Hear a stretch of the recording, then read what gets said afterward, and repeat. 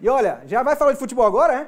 Vamos embora pro futebol então? Vem pra cá, Matheus Suca, bora conversar sobre futebol. Meu amigo, Fala, bem-vindo aqui ao, ao Tudo bom, meu irmão? Isso, Tudo isso. tranquilo. Vem, Como é que você vem tá? lá pra cá, vem pra cá, tô bem, e você? Ô, rapaz, coisa boa. Eu tô com medo de você aí, distância social, isolamento. Não, mas aqui dá, aqui essa Aqui distância tá dá, tranquila. tem um metro? Acho que tem. Então tá bom, coisa Deve ter, boa. Deve ter um metro. Ô, rapaz, vai pra lá, ô infeliz, rapaz. Como é que você tá, Tuzão? Tudo tranquilo. Tá bem, né, cara? Tá bem, graças a Deus, tudo certinho. Amém, amém, amém. Coisa boa. Eu tô muito feliz porque o futebol pernambucano voltou e voltou, graças a Deus, com muitos gols, voltou com saúde, com energia. E olha, ontem tivemos cinco jogos pelo encerramento da última rodada do nosso estadual, depois de quatro longos meses de espera, sem partida. Um dos jogos o esporte protagonizou a maior vergonha da história. Já já vou falar sobre essa vergonha e vou falar sobre a alegria, sobre o orgulho tricolor, de novo comemorando no Clássico das Multidões na casa do rival. Mas o assunto é o Náutico, que lá na casa do adversário, em Salgueiro, bateu o Carcará. Vamos sacar como é que foi a reportagem do Fábio Mendes contando a história do jogo? Vamos lá. Arquibancadas vazias, execução do hino com distância entre os jogadores. Uma nova rotina para o futebol em tempos de pandemia. Com a bola rolando, quem teve trabalho primeiro foi o goleiro Jefferson do Náutico nesse chute. A resposta alvirrubra vem com bola cruzada na área, desvio de cabeça e Thiago pegando de primeira. Gol logo na reestreia com a camisa do Timbu. Vale a dancinha para comemorar. Chiesa de frente pro gol perde a chance do segundo. Aí o Salgueiro vai pro ataque e Ciel, no meio da pequena área, cabeceia para dentro. Tudo igual no sertão. O segundo tempo vem com pressão alvirrubra. Até que outra bola cruzada na área sobra nos pés do veterano Jorge Henrique. É o gol da vitória alvirrubra. Final Salgueiro 1, Náutico 2 e Timbu classificado para a próxima fase. A gente conseguiu o nosso primeiro objetivo, que era vencer o jogo e classificar o Náutico para a próxima fase. Mas mais do que o objetivo, é o desempenho, eu- me apego muito ao desempenho da equipe. Ela é muito bom, é, nós tivemos um jogo muito controlado, não dando oportunidades para o adversário. É, criamos várias oportunidades, merecemos o resultado e o que mais é, me agrada é esse espírito da competição. A gente tá, é, montou um modelo novo da equipe, é, treinamos bastante esse modelo e os atletas entenderam a maneira de jogo, mas é, é o diferencial sem dúvida hoje foi Ô, Suca, e como é que tá a situação do Náutico agora? Náutico tá bem tranquilo, já já a gente vai mostrar também a classificação, como é que vai ficar o Campeonato Pernambucano a partir de agora. Náutico se classificou, vai disputar, continua na briga pelo título. A gente vê nesse momento alguns ah, instantes do protocolo, jogadores espaçados durante a partida, o que pra mim não faz sentido algum. Estar hino todo mundo nacional- jogando lá na hora depois, né? Pois é, Se tava batendo um Exatamente, o contato existiu. Você vê aí, ó, na hora do hino daqui de Pernambuco, o distanciamento o social como protocolo, mas não faz sentido porque quando a bola rola também Mas talvez seja tá até, até para dar exemplo, né, Suca? Possa ser também. A ideia seria essa, mas é como eu estou dizendo, do ponto de vista lógico, não faz, Não faz sentido. sentido. Não faz sentido. No final das contas, a aglomeração. agora na grande área. na área. No gol do Thiago, o menino Thiago, rapaz, ele voltou, foi pro Flamengo. Ele ia pra base do Flamengo, esse Thiago, negociado no ano passado. O Flamengo, por conta da pandemia e do cancelamento consequente dos jogos de base, não ia dar espaço ao Thiago no elenco principal. Então reemprestou o jogador agora pro Náutico, devolvendo pro Náutico clube de origem e já vai no passinho. Você sabe fazer esse passinho aí, Arthur? Tô fora, Você não é toma? comigo não. Olha aí, galera. Quem, quem faz o passinho bem pra caramba é Rafael Cabral. Eu tô fora. Quero ver no YouTube aí você comentando. pois é, youtube.com barra TV Tribuna PE. Pode pedir aí pro Arthur Olha, fazer o passinho, hein? Minha mulher disse que eu sou, eu sou mais duro que poste pra dançar. É, né? Imagina fazer passinho. Agora aqui, ó. Pet sabe fazer o passinho, é uma beleza. Pois é, rapaz. Mas o Thiago fez, o Náutico se garantiu, conseguiu essa vitória num novo esquema tático, 4-1-4-1. E o Náutico agora vai ter pela frente o desafio, obviamente, na Copa do Nordeste. O Náutico vai jogar no meio de semana contra a equipe do Bahia. O Náutico, se fosse milha terrestre, o Náutico ia ganhar uma bonificação danada. nada, porque foi daqui para Salgueiro de ônibus e vai de Salgueiro para Salvador, para o estádio Pituaçu. Claro, antes vai descansar, vai pro hotel, vai treinar no próprio estádio do Pituaçu para enfrentar o Bahia na quarta-feira. Náutico está tá precisando vencer o Bahia para passar de fase na Copa do Nordeste. Arthur. Mas tá corrido, né? Porque no final de semana que vem já tem Pernambucano de novo, né? Pois é, e aí deve haver um confronto de datas, um choque de datas. E é provável que quem passar na Copa do Nordeste priorize uma ou outra aí competição. Aí vai ser e time B, né? Exatamente. Agora, por exemplo, no caso do esporte que a gente vai falar agora, hum. como é que vai ser? Porque o esporte está fora do Pernambucano da disputa pelo título, mas está brigando agora para não cair contra o rebaixamento. E o Santinha, rapaz, o Santinha terminou na liderança isolada, o Santinha terminou invicto, o Santa terminou com artilheiro. E o show dele você vê agora também com Fábio Mendes. Precisando da vitória, o esporte procura o ataque desde o início. Mas com a marcação forte do Santa na entrada da área, a saída é arriscar de longe. Só que o goleiro Maicon Clayton tá esperto. Nessa cobrança de falta, ele voa no cantinho. O tricolor ameaça pela primeira vez na bola roubada por Didira. Vitor Rangel chuta e Luan Polis palma. O Leão desce com Patrick, que cruza para Rafael. Dessa vez é a trave que salva o Santa Cruz. E o primeiro gol do jogo é Coral. Didira passa de calcanhar e Pipico manda para rede. 1 a 0 é o placar do primeiro tempo na ilha.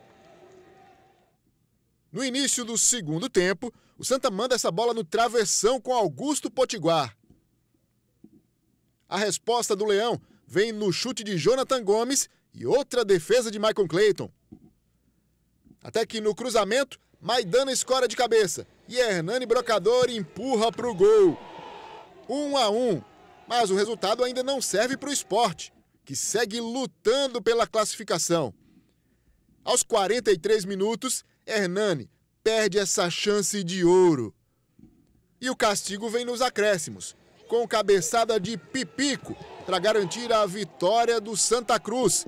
2 a 1 na Ilha do Retiro vazia. O resultado do jogo foi uh, completamente diferente do que a gente imaginava. A gente trabalhou para vencer, para classificar.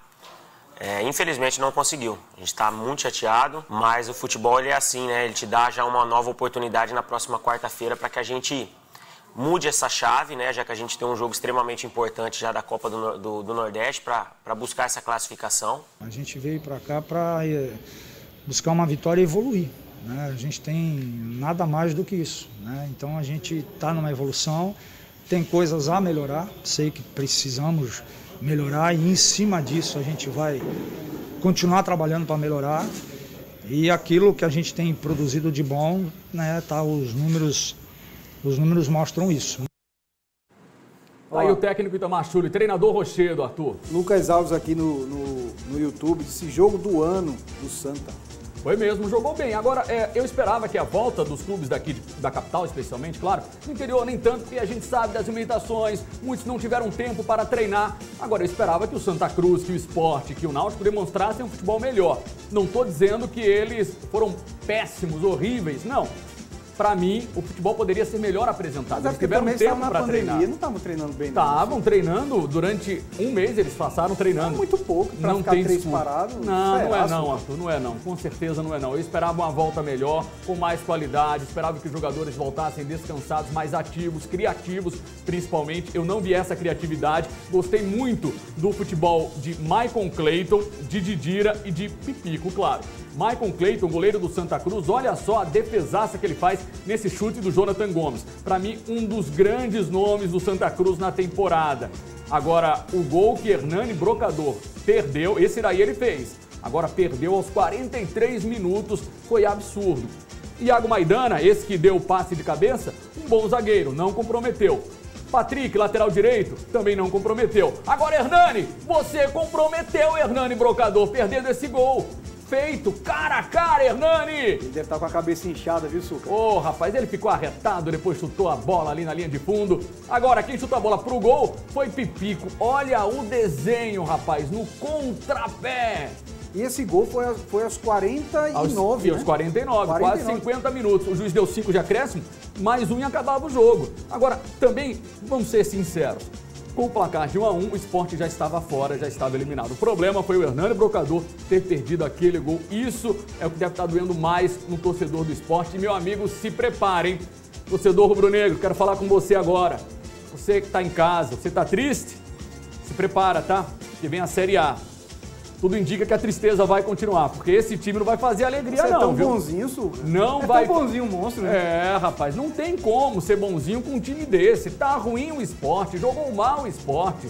Por mais que haja crise financeira, não justifica o esporte ter jogado futebol tão medíocre como vem jogando, vinha jogando no início do ano e continua jogando, pelo visto, nesse período de pós-pandemia. Você imaginava, Suca, que, que o esporte pudesse perder com o time que tinha em relação ao time do Santa Cruz ou foi, ou foi um resultado que você não imaginou que pudesse acontecer? Um 2 Não, a 1 poderia acontecer tranquilamente, é independente da série. Isso, e principalmente nas condições em que voltaram. Como eu disse, todo mundo estava igual. Todo mundo treinou por um mês, todo mundo estava com o seu melhor jogador em campo. Então, é, eu esperava que as duas equipes produzissem mais. Como eu disse, gostei só de três jogadores e os três do Santa Cruz. Michael Clayton, Pipico e Didira que deu esse passe belíssimo de E calcanhar. Brocador, por ele ter perdido o, o gol, ele também se enquadra num, num jogador que você não gostou da atuação dele em campo? Com certeza. O que ele fez, a função dele, ele não tá para marcar zagueiro, ele não tá para dar passe, ele tá para fazer gol, é a função primária. Na hora que você tem uma função primária e não exerce essa função, não faz bem feito, como ele não fez, perdeu um gol incrível e acarretou a eliminação, tem que pesar a responsabilidade sobre ele.